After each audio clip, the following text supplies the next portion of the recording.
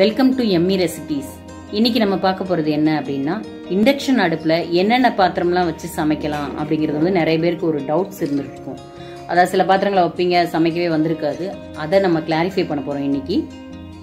இந்த இண்டக்ஷன் அடுப்பு எப்படி வேலை பார்க்குது அப்படின்னா எலக்ட்ரோ மேக்னெட்டிக் மெக்கானிசம் அந்த மெக்கானிசம் மூலமா தான் வேலை பார்க்குது. அதாவது இந்த இண்டக்ஷன் அடுப்புல வந்து நடுவில் ஒரு காயில் இருக்கும். அந்த காயில் வந்து நம்ம எலக்ட்ரிக் இதில் கொடுக்கும்போது ரெண்டும் இதாகும்போது அது மேக்னெட்டாக அந்நேரம் ஒர்க் பண்ணும். ஸோ நம்ம இரும்பு கலந்த எந்த ஒரு பாத்திரத்தை இதில் வச்சாலும் அது வந்து சமைப்பதற்கு ஏற்றதாக அமையும். இப்போ பார்த்தீங்கன்னா அதே இது அந்த இரும்பு கலந்த பாத்திரம்னு சொல்லிட்டு ஸ்டெயின்லெஸ் ஸ்டீல் பாத்திரம் எல்லாமே பார்த்தீங்கன்னா இரும்பு கலந்தது தான் பட் அதோட பேஸ் வந்து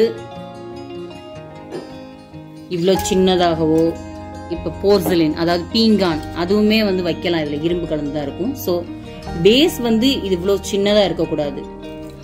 இந்த மாதிரி ரொம்ப சின்னதாக இருந்தால் அது வந்து வைக்க முடியாது. இந்த ரவுண்டுக்கு ஏற்ற அளவுக்கு நம்ம வந்து பாத்திரம் வந்து வைக்கணும். ஃப்ளாட்டாக இருக்கணும். அப்போ தான் குக் பண்ண முடியும். ஸோ இதில் நம்ம செக் பண்ணுவோம். தண்ணி ஆட் பண்ணுறோம் ஆட் பண்ணிவிட்டு இப்போ நம்ம இண்டக்ஷன் அடுப்போட மெயின் ஸ்விட்ச் ஆன் பண்ணி தான் இருக்குது மெனு ஸ்விட்ச் ஆன் பண்ணியிருக்கேன் high temperature two thousand okay இப்போ இது வந்து சூடு ஏற ஆரம்பிக்குது. அப்படின்னா இந்த பாத்திரம் வந்து செட் ஆகும். இதில் நீங்கள் என்னனாலும் நீங்கள் எதை வச்சு ஹீட் பண்ணாலும் ஹீட் ஆகும்.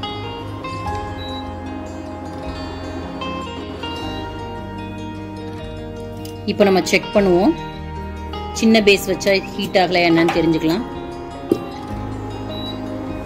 இப்படி வச்சாலே பீப் சவுண்ட் கேட்டுட்டே இருக்கும். பீப் சவுண்ட் கேட்டாலே இந்த பாத்திரம் வந்து இதுக்கு ஏற்றதல்ல அப்படிங்கிறத நம்ம தெரிஞ்சுக்கலாம்.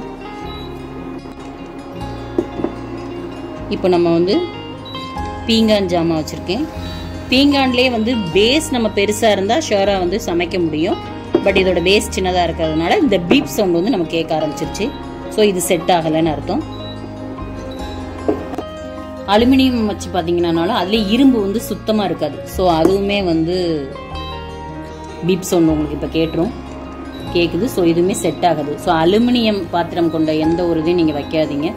அது வந்து இண்டக்ஷன் அடுப்புக்கு வந்து செட் ஆகாது. அடுத்து பார்த்தீங்க அப்படின்னா இது வந்து காப்பர் பேஸ்ட் உள்ள ஒரு பாத்திரம். காப்பர்லேயும் வந்து சுத்தமாக வந்து இரும்பு வந்து கலந்துருக்க மாட்டாங்க. ஸோ இதை நம்ம ட்ரை பண்ணுறோம் பீப் சவுண்ட் கேட்கும் இதுலேயும். இப்படி பீப் சவுண்ட் கேட்டாலே அந்த பாத்திரத்தை யூஸ் பண்ண முடியாது. ஸோ நம்ம எடுத்துடலாம். அடுத்த பாத்திரம் பார்த்தீங்க அப்படின்னா நான்ஸ்டிக் பேன் இது. நார்மலாக உள்ள பேனில் வந்து நம்ம நான்ஸ்டிக் பேனில் வைக்க முடியாது. பட் இது வந்து இண்டக்ஷன் பேஸ்டு அந்த இருக்கிறனால இதை வந்து நம்ம வச்சோம் அப்படின்னா இதில் நல்லாவே சமைக்கலாம். இதில் நான் அடிக்கடி சிக்கன் வெண்டைக்காய் அந்த மாதிரிலாம் ஃப்ரை பண்ணுவேன். சூப்பராக குக் ஆகும். பீப் சவுண்டே வராது. ஸோ நல்லாவே குக் ஆகும். இப்போ வந்து இரும்பு பாத்திரம் நம்ம யூஸ் பண்ணுறோம் இரும்பு பாத்திரத்தை ட்ரை பண்ணுவோம். நான் தான் சொல்லியிருக்கேன் இல்லையா? இரும்பு பாத்திரம் இரும்பு கலந்த எந்த ஒரு பாத்திரமும் வந்து இண்டக்ஷன் அடுப்புக்கு வந்து யூஸ் ஆகும்னு சொல்லும்போது இது வந்து இரும்பு சட்டி தான். ஸோ கண்டிப்பாக இதுவும் யூஸ் பண்ணலாம். இது இரும்பு தோசைக்கல்.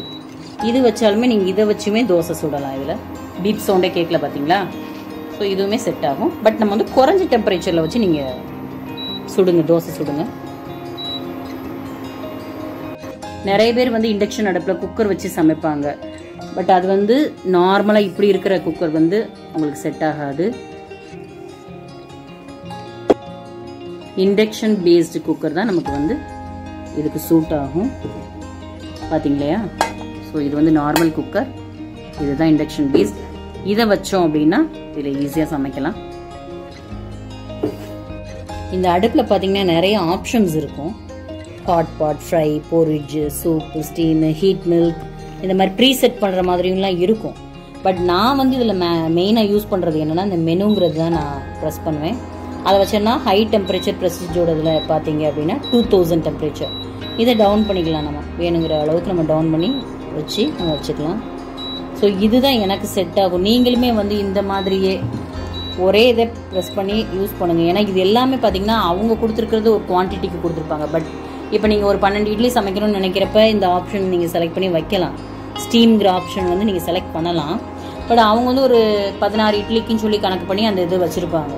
ஸோ அது வந்து நமக்கு வந்து சரியாக வராது. அதனால தான் என்னோட கணிப்பு அதான் நான் ஒரு டென் இயர்ஸாக நான் இண்டக்ஷன் அடுப்பு வந்து யூஸ் பண்ணிகிட்ருக்கேன் இருக்கேன். ஸோ அந்த மெனு அப்படிங்கிற ஆப்ஷன் தான் நான் யூஸ் பண்ணி அதில் உள்ள டெம்பரேச்சர் கூட்டி குறைச்சி நான் சமைச்சிக்கிறேன்.